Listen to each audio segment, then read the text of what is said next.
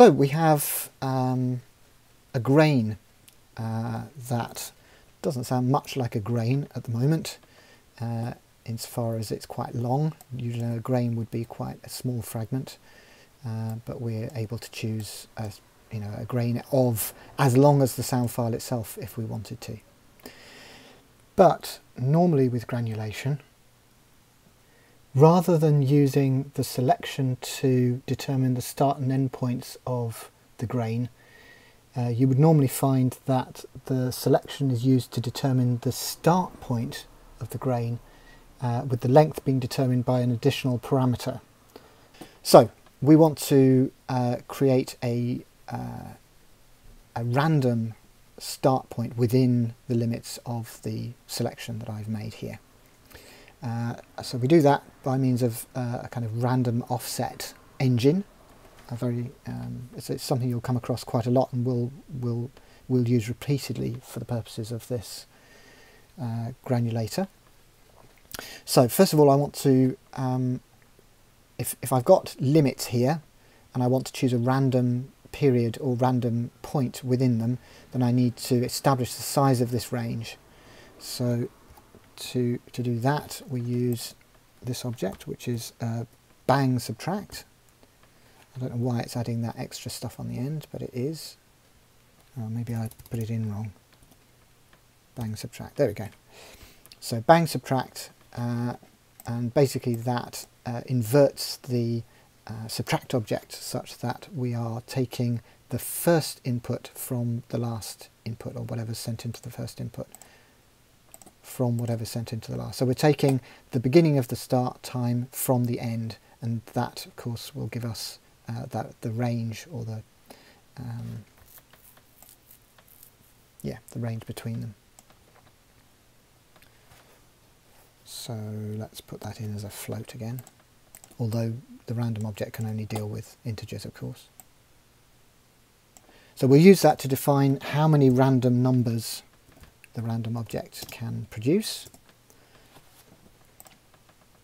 So I'll send that into the right hand side of that.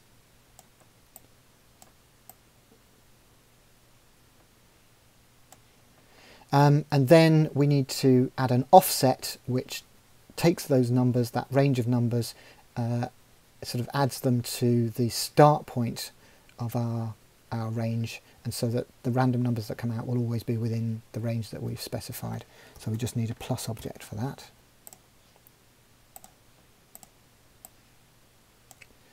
Um, and we take the start point and send it to the right hand inlet of that. I'm not sure how clear this is because it's kind of, maybe I need to spread this out a little bit. There we go. And then if I make a button object there and there we go. So I choose a range and our random object should now give me a number that is within the range that I've specified. So it's between 684 milliseconds and 1369. It is truncating, as I say, so if we wanted something a bit more precise than this, we'd need to find a way of making random come up with more numbers than that. But for the purposes of what I'm doing today, um, this will be sufficient. So again, it's coming out with numbers between six, uh, the, the two numbers that I've got here. Um, if I change those numbers, then it should give me numbers again that are appropriate. If I only click once on here and don't drag, then it will give me a start point which is always the same place. So that could, and indeed is, very useful sometimes. So we've got that, and that, that number can simply be sent to the start uh, point of my, um, my loop points in the Groove object. So we can get rid of this one because we no longer need it. Um, but of course our endpoint is always still going to be the endpoint of the loop area that we've specified and that's not going to be ideal because our loop is always going to be different length and is always going to be curtailed at the same point. So what we will do is to add an, for the moment, arbitrary amount to define our the length of our uh, grain, which will be, uh, let's say, 100 milliseconds. And if we add that to the start point, then I guess we're making an offset again from the start point. Get rid of this. So that will give us um, a 100 millisecond grain. um, from whatever point that we specify or whatever point uh, the random object uh, specifies within this range that we've set up. Uh, and then the next thing I need to do is to, whenever I trigger a new grain start time, I also need to trigger um, a new grain.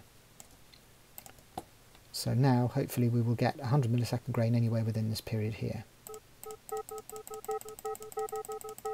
As indeed we do. Um, and again, if I, if I choose only one point within that area, so I don't choose a range, then we should get the same sound every single time. Again, as we do.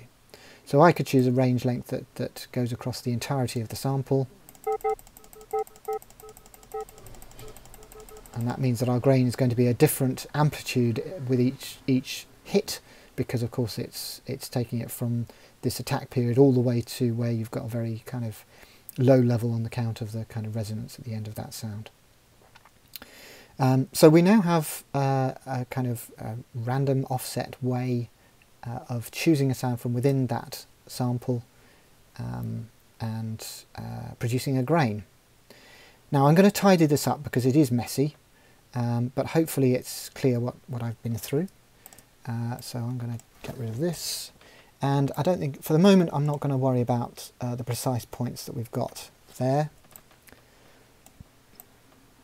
So if I do that, um, and this,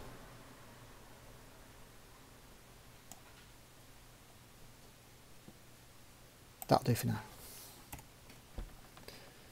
Okay, so uh, as I say, we've got 100 millisecond grain now, um, defined by the, uh, whose start points are defined by our selection within the waveform tilde object.